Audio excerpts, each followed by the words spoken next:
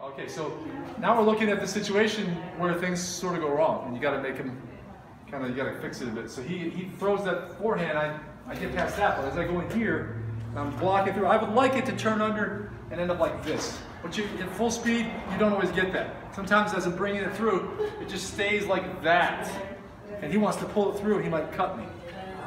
So I can't leave this arm or rely on it just to hold his arm. I gotta bring this one over and pinch, pinch behind the elbow. So now he tries to pull it out, he can't. All right, he can't yank this through and cut me.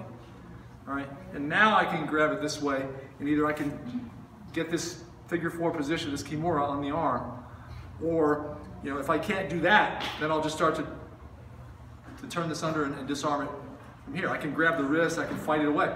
But what can also happen is he does pull it through, okay? And I keep a hold of it though. Since I earned my way in, I don't let go of that wrist for anything, because that's when he starts cutting me. So, so even though I was here, we're off of this. Backhand, boom, off of this, we lost this, we lost this, I still got to hold and follow him in. And one thing I like to do is just what I'm doing is I'll put my forehead here. All right, so that I can focus on this wrist and it sort of crowds out his head. All right, and now from here, I can, I can maybe turn this under and get enough of it. He'll still be like that. So I might have to push my knee into it to bend it the rest of the way. Sometimes you'd like it to be here and be able to do a clean disarm that way. But you don't always get that. And since you have a long blade, use that length and use the flat side as leverage. So it means I get just this far, I can bring my knee to it and then bend it over. I hold on to it real good. So from here, I can't even bend it under.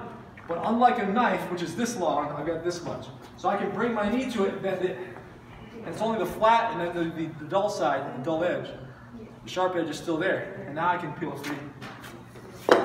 Hit, shove in, and go for this blade.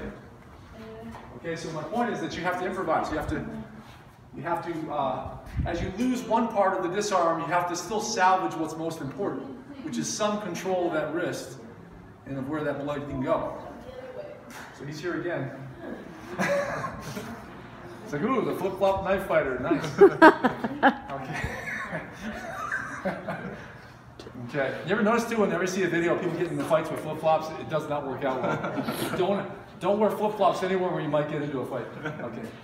So he attacks, boom, misses him here. I bring it through. I, would like to turn under like that, but I can't. He turns it. I like to trap it here yet, but he pulls out. So I've got to hold this wrist and I follow it here. And now I like to turn it under and get this, but I can't get it that far. All right. Truth be known, I can even push it with this with this knee. All right. Some people also like to grab it and they'll just do this with the flat of the forearm. All right. You can do that too, as long as it's against the edge, the flat edge of the blade. So we're here. Yeah, off of this one here, I, I lost all these things. He's pulling out, turns it. I follow it to here, and I'm trying to turn it. I even can't turn it. When all else fails, I still hold on to it, cross grip, and then I start hitting. Boom. All right. And then if I can feed it over here, I'll then start to put together something to control that arm again.